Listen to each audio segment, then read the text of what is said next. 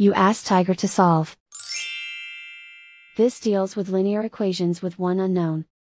The final result is z equals negative 9 over 43. Let's solve it step by step. Move the negative sign from the denominator to the numerator. Group like terms. Simplify the arithmetic.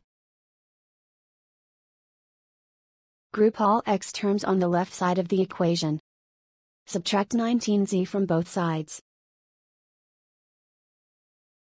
Group the coefficients. Convert the integer into a fraction. Combine the fractions. Combine the numerators. Group like terms.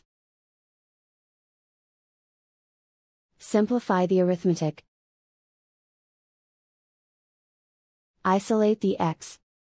Multiply both sides by inverse fraction 9 over negative 172.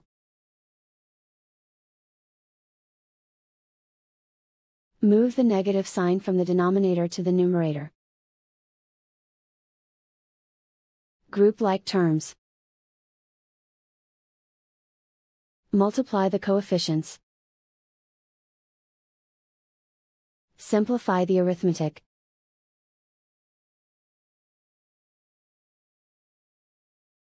Move the negative sign from the denominator to the numerator. Multiply the fractions. Simplify the arithmetic.